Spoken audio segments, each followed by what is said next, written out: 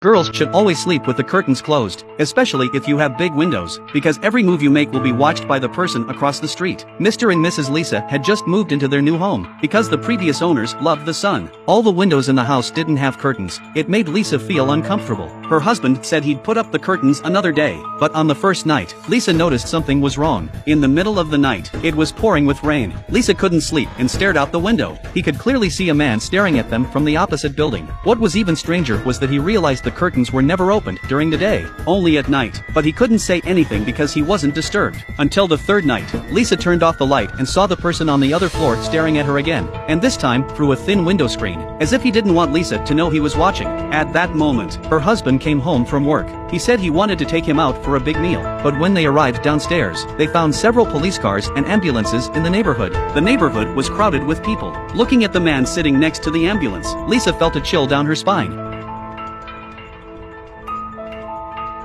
The next day it was on the news. It turns out there was a murder across the street. It was said to be the work of a well-known serial killer with a hood. The killer preys on good-looking women. Lisa suspected that it had something to do with the man who was watching. She was very nervous. Her husband asked her if she was feeling ill. So she told him what she'd seen over the past two days. But her husband thought the man might have been just looking at the street. It doesn't mean he's the killer. But that didn't convince Lisa. So she checked the news. It turns out that last year, a woman escaped death. In the video, the woman describes the killer as wrapping a plastic bag around her from behind, and then quickly plunged a knife into her neck. The more Lisa listened, the more she felt uneasy. What if the killer really lives across the street? Could they be watching her at any time? When she went home, she couldn't stop thinking about what the woman had said in the interview, and she had the feeling that someone was following her. When the woman took a few steps, she had to look back, but she didn't see anything suspicious. In order to calm down, she went to the supermarket to shop, but then a man who looked like the man on the other side of the building appeared. Sensing something was wrong, she immediately moved to another place.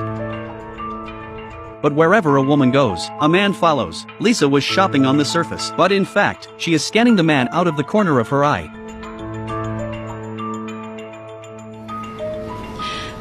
She doesn't dare to look at him directly. In her panic, she accidentally broke a jar of pickled carrots. The woman hurriedly hid in the employee's warehouse, and the man followed her as she thought he would. It was as if he had eyes in his back, as if he knew Lisa was behind him.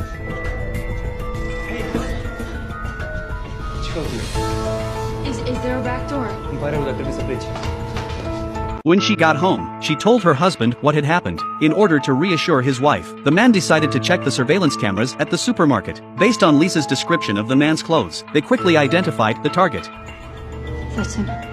Lisa said the man had been staring at her, but her husband didn't see anything strange. He also said that the man on the monitor looked normal. Maybe he was looking at another woman and not you. Faced with her husband's lack of understanding, Lisa took a picture with her mobile phone and made a bold decision. The next day, when her husband left the house, she brought her breakfast. She sat by the window and ate while staring at the passersby on the other side of the building, trying to prove that the stalker was the man on the other floor. But she sat there until the evening and found nothing. Was she really overthinking it? At that moment, there was a sharp knock on the door. Lisa went over to the door trembling. She dared to open the door only to make sure it was just an old woman. She seemed to be in some kind of danger, but Lisa didn't understand the language. Luckily, she met a neighbor who had just come home. The neighbor said she was looking for her kitten. Then he invited Lisa over for a drink. The two of them were chatting like old friends who hadn't seen each other for years. The woman told her that this area was a bit dangerous. That's why she always kept a gun in her drawer.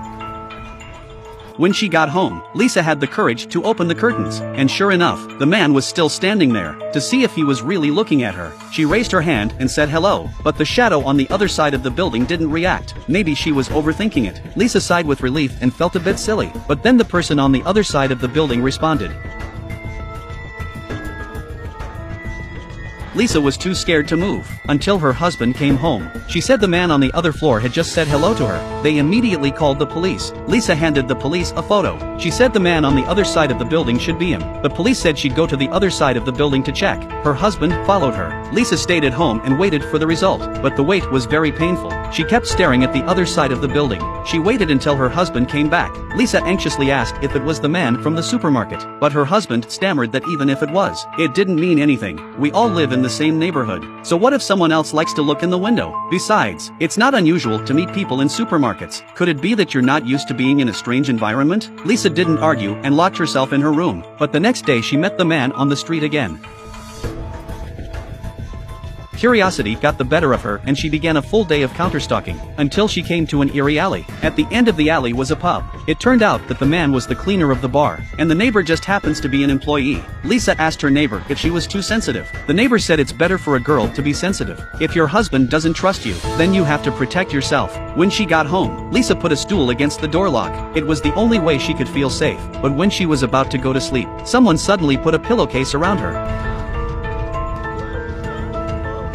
Luckily, it was just a dream, but then the sound of a fierce fight came from the neighbor's house. Lisa rushed to knock on the neighbor's door. The neighbors were alerted. The landlord rushed over and opened the door, but only found the old lady's lost kitten and no sign of the neighbor's beautiful girl. But Lisa didn't give up looking for her neighbor. She went to the bar and asked if her neighbor had come to work. The barman said she was on holiday for a couple of days and wasn't sure. Then she found a tall man knocking on the neighbor's door. The man was the neighbor's boyfriend. He said they were supposed to go to a concert last night, but he hasn't shown up until now. Lisa asked the man for the neighbor's phone number and called him. The ringtone came from inside the house. The man thought his girlfriend didn't want to see him, so he turned around and left. Lisa immediately stopped the man. She asked him to take her to the opposite building to find out more. Soon they arrived at the stalker's place. Lisa watched from afar as the man knocked on the door, but after knocking for a long time, there was no answer. At that moment, the man answered the phone and said he had to leave. Lisa didn't give up. She asked him if he could try to help her again. The man cursed at the door in a very violent way.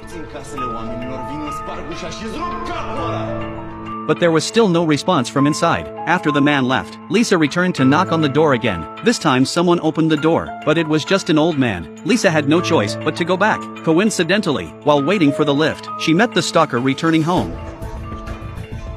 The woman didn't dare to breathe and pressed the lift.